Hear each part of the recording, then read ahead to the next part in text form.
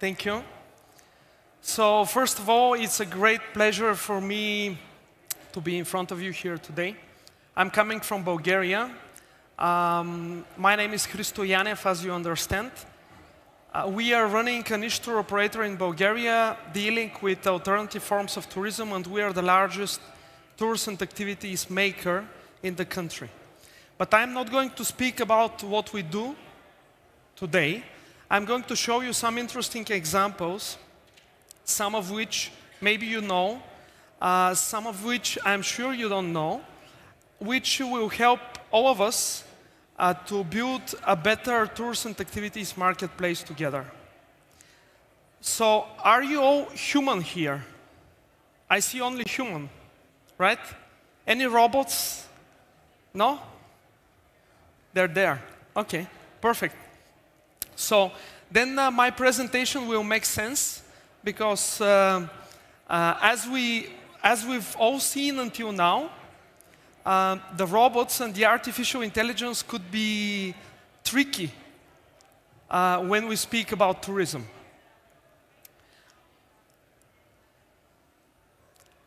Okay, first of all, um, I'm not going to give you a lecture on what artificial intelligence is because I'm sure that you know about this already. I'm going to pinpoint some very important uh, things. And the first one is the tours, the tours and activities, the tours and activities mar mar marketplace as a whole. Because according to Phocuswright, you see what numbers they predict by 2020. So this is a big opportunity. This is a big market, and I'm sure that, uh, okay, let's, let's try something simple. Uh, are you in the tours and activities business? Who is? Okay, some people, just a few. Okay. And uh, are you happy with what you're doing? Yes? Right? Okay. This is actually the um, something that uh, we all need to think about because this brings us to very local experiences, right? And when we speak about tours and activities, and before we get into much detail about the artificial intelligence, we need to be sure about all those things that you see on the slide. First of all is trust. And uh, my presentation is going to show you how we need to combine human and artificial intelligence, not to take any side which one is better, to have more humans or to have more artificial intelligence and robots, right? So I'm not going to get any side of this topic. I'm just going to show you something interesting from experience and from the experience of our colleagues and partners. So first of all, is trust. Trust, as you know, is built with a human touch, human to human. That's why we have all the review sites. That's why you want to ask somebody about something. That's why here, on this topic, artificial intelligence cannot help you a lot. But if we look at the local experience, and uh, if you remember what uh, Get Your Guide did uh, some time ago, they bought uh, Gidsy, a marketplace for very authentic tours and activities. So they didn't want to, to, to make something mainstream, so they wanted to bring it to the locals. So all the tours to be coming from local people. Here, again, we have the human touch. And uh, with the artificial intelligence and the websites, we can actually make this uh, interaction between the customers and the local suppliers much better. Next one is the product mix. Why? Here is something that maybe some of you don't know, but all those marketplaces like Viator, Get Your Guide, Musement, and so on, they don't allow duplication of products. What does this mean is that if you offer some product, very authentic, but they already have a similar product on their system, you'll be rejected, which is not good. because there is no competition. Because uh, I'm sure that in the countries you are coming from, you can provide a better service and a better product than somebody else, right? So take, for example, something outside of the tourism, like AliExpress and Amazon. You have all the different suppliers. Sometimes you have 1,000 products, absolutely the same, but you have different suppliers who are giving you different service.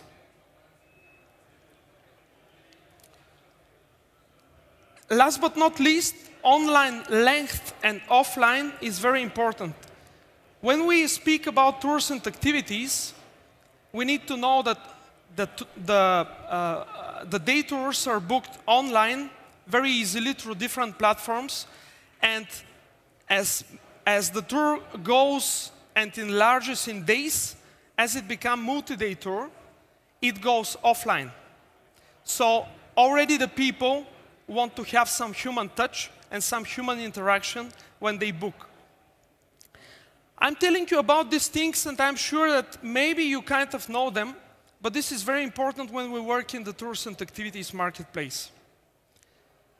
When we speak about artificial intelligence, it's actually a new, a new topic, 75, 76 years old, which in terms of tourism, um, I'm showing you this slide because I want to, to make sure that uh, you know that there are many other different uh, fields and businesses which utilize artificial intelligence uh, much better than in tourism. So we are a little bit backing off, and from the examples you see, um, you, you kind of uh, understand that. Last but not least, from these sequences of, uh, of slides, we need to make a clear differentiation between artificial intelligence and robotics, right? Because some people, when we speak about artificial intelligence, some people think that uh, we speak about robots. Yes, robots are part of the story, but what matters and what actually we were shown at the ITB on the first day, I think, yes, on the 7th of March, it was Pepper. It was the artifi artificially intelligent robot, which could be used for different services, as you may have seen. For the tours and activities marketplace, we don't have, I think we're not far from, from the time where we will, be offered robots uh, as tour guides. Do you think so? Are you, are you will you be comfortable when, uh, if, if a robot is your tour guide, for example, in a destination? Okay, it will be a lot of fun, but we need to see how feasible and attractive this will be. And just to finish these sequences of slides before going to the case studies, uh, I just want to ask you which one you prefer, the Aiko or a human? Have you seen Aiko? Toshiba humanoid robot, which acts as a um, reception staff. Have you seen this, this lady on the right-hand side? Yes? Okay, which one do you prefer now? Left or right? What's that? Left. Okay.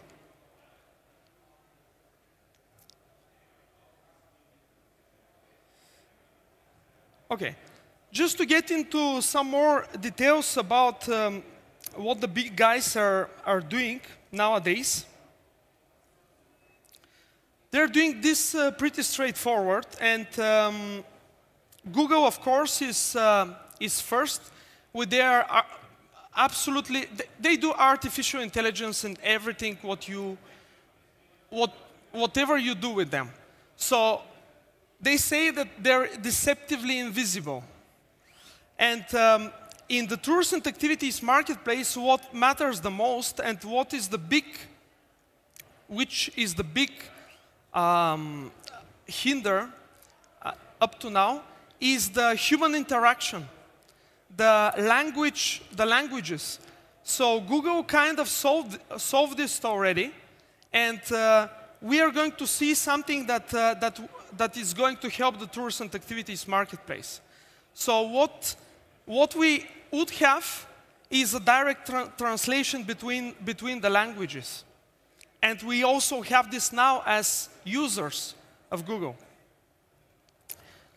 Of course, Google Flights, you know about this, but I'm going to stop on the third point, which is book on Google and Google Trips, which has a lot to do with the tours and activities marketplace.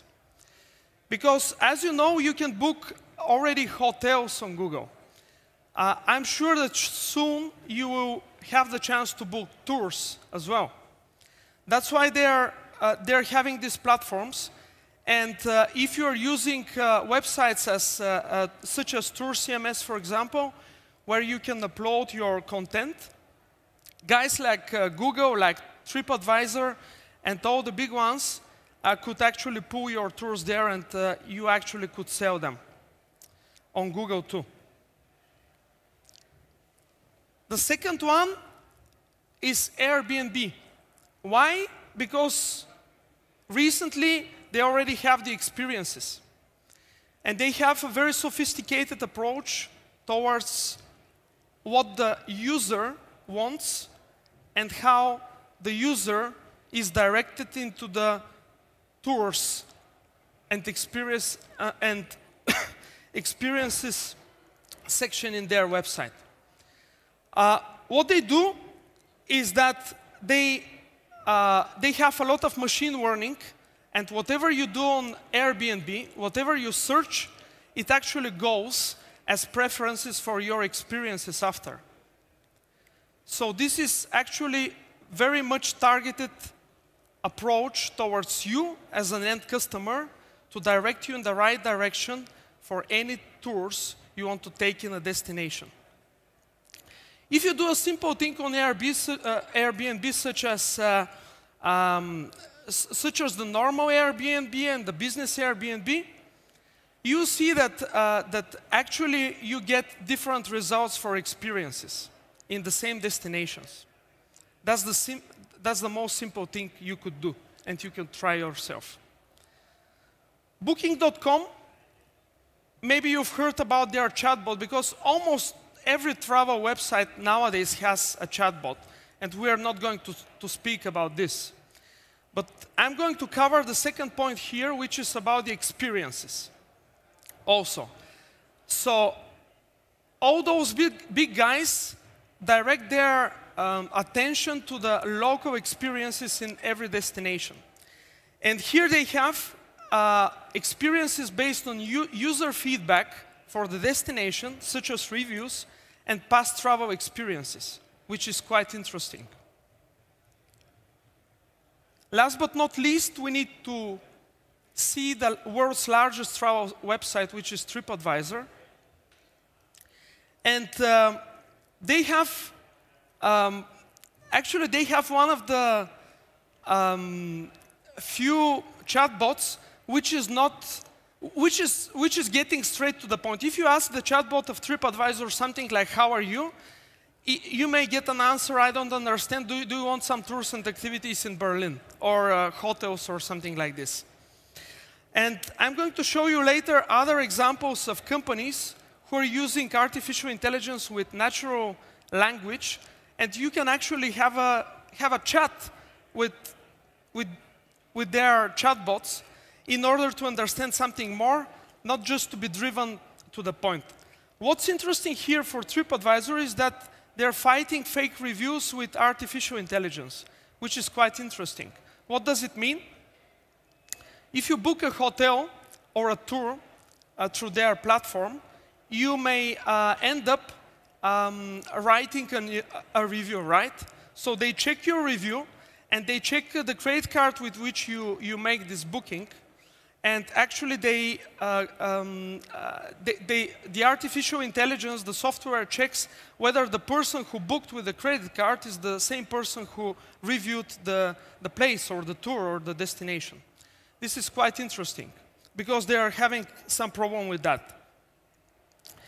And um, I told you about that it's strictly travel oriented. Now, more.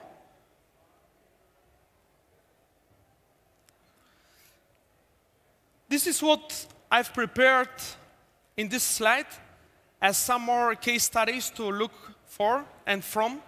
So first of all is Expedia Local Expert. They're going into the local deep, deep experiences like uh, Airbnb experiences and the peer-to-peer -peer technology. So they say that they will have the human intelligence plus the artificial intelligence based on user feedback and uh, in order to provide the best tour and experience for you as a customer. The second case study is about Visit or or Orlando. You've heard about augmented reality, right? I'm sure. So Visit Orlando based, bases their app on augmented reality and artificial intelligence plus human intelligence. So all those um, reviews and feedback from people are also implemented in their platform. So you get the most appropriate tour for yourself based on your preferences and, the, and on the machine learning they, they actually implement. Very interesting for me personally is the third one about TUI and Utrip, because Utrip is a platform which every business could use. They also co combine human and artificial intelligence as well as user feedback, but they also um, extract data from uh, uh, different uh, websites related to text and information about the destination. So what happens is when, when you book already a, a trip on TUI.com, actually uh, the system will provoke your interest and will show you some results based on your preferences for the destination, what, what you can do, how you can do it, when you can do it, and so on. This is very interesting for such a mass activity tour operator like TUI. Musement is also here because Musement is the first company to implement the first Facebook chatbot. I had an inter interesting experience with them the last week. Uh, I wanted to try their chatbot, and I thought that it's part of their website, it's not part of their Facebook page. So I, I wrote in the, in the website, and you know, the chatbot normally replies in two, three seconds, right? It starts writing, and then you get a reply. So I got a reply immediately, and I thought that this is a chatbot. So I started um, speaking about general things and natural language, uh, and actually it was an operator because I understand that, understood that when I asked, "Are you a chatbot or a human?" And actually the system said that it's a human. Um, so we kind of, we kind of uh, mix the two things already, and you don't know in uh, any situation to whom you are talking to. What's good is that the conversation keeps going every time, everywhere. Skyscanner is also here because uh, it's not far, in my view, the time.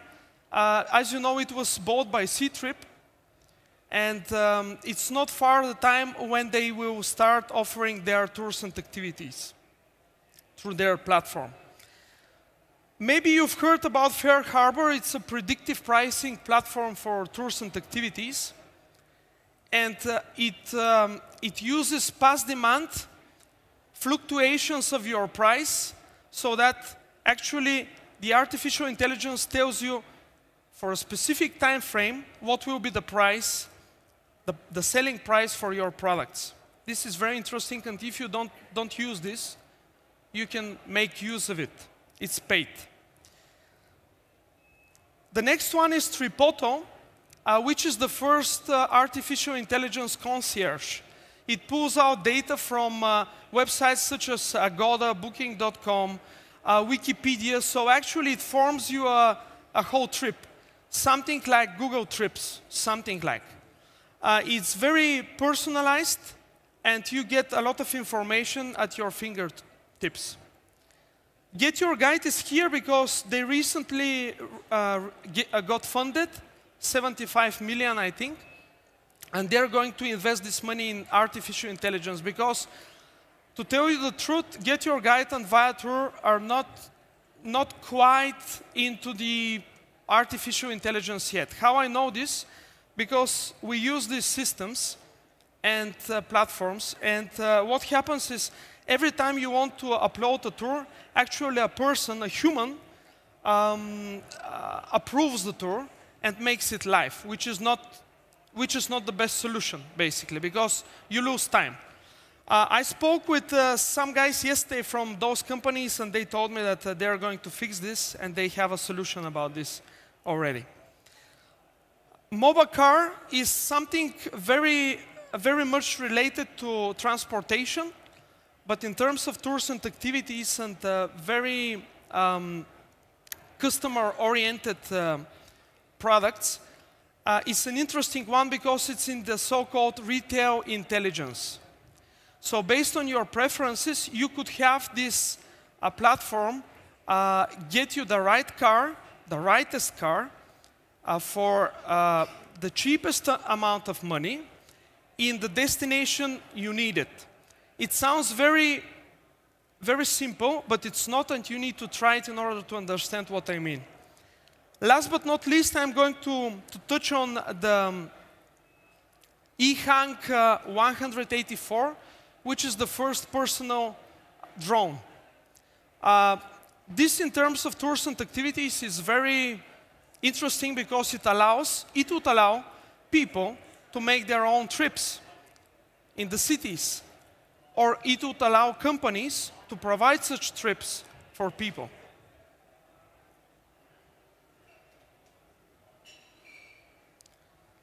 Last but not least, I would like to conclude that artificial intelligence and, and, and human intelligence should be combined.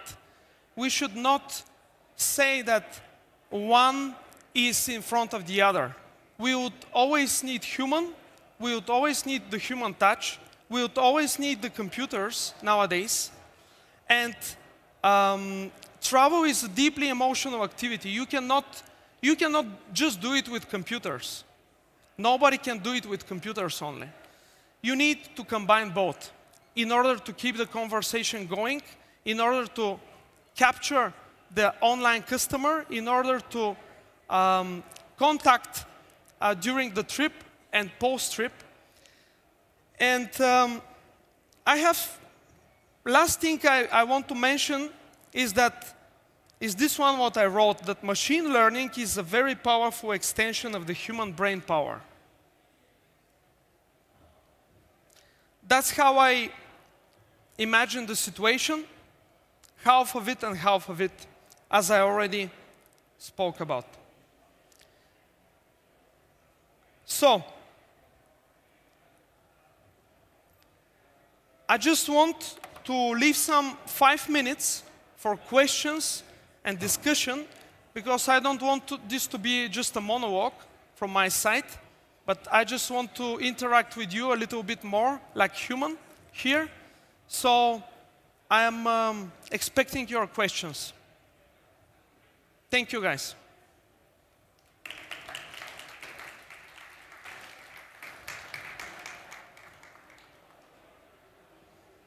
Who has a question? Come on, guys.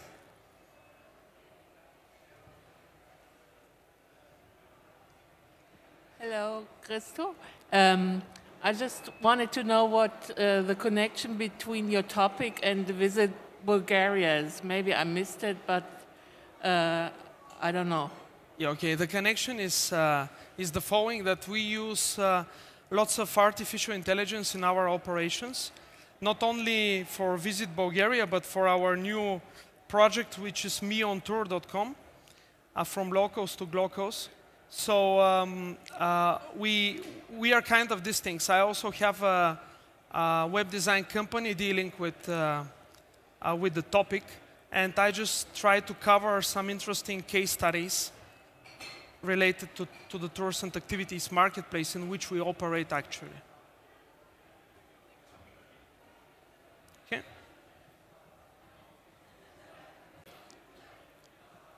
Thank you. Um, how do you think, um, uh, how can be integrated uh, artificial intelligence with blockchain? Is it possible? Do you have some uh, plans about the blockchain? Thank you. Yes. Um, have you heard of Winding Tree? Have you heard of Winding Tree? No? It's the, um, the most advanced blockchain in, um, in travel as a whole, not in tours and activities marketplace, but in travel. So I think that um, I really think that they could be they could complement each other. But I don't think that the travel is uh, too set up for using blockchain yet. Um, there are many, th this is a completely different topic basically, but uh, there are many constraints for, for all of us to use blockchain in travel. And uh, one of the most dangerous ones is that uh, all those money, currencies, they're not, nobody is sure about, about them, right? I mean, up to now we've seen that they're going well, ups and downs is okay, but I think we, we all need still a bit more time in order to see whether this is the way forward or not. Some people got very rich utilizing that already. But I'm, I prefer to stay on the safe side and to answer this question the, the way I, I did it.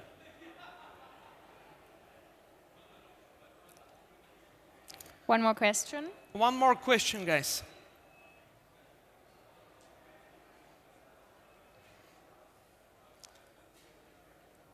I give, um, okay, I will, um, I will make a small game with you, human to human game.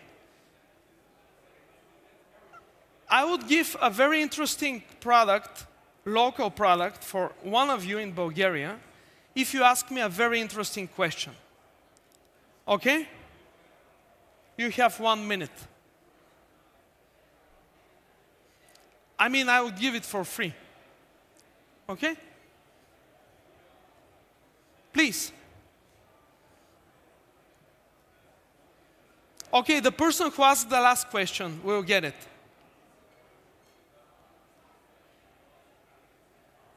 Are you tired? Ah,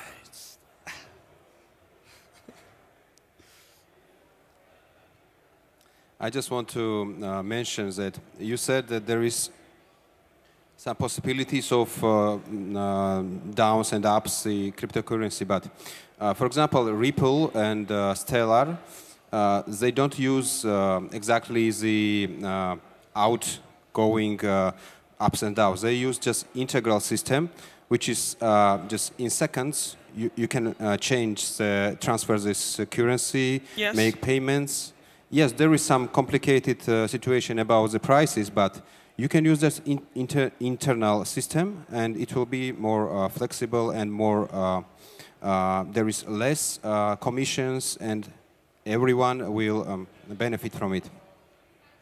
Do you, uh, so is this a question or a note? Note. okay. So yes, um, are you working in something like this? No? You're just fond of blockchains? Uh, we just uh, we're from Georgia, and um, uh, uh in Georgia there is registered uh, travel agencies more than 3,000. So uh, we, th we think how can we be different?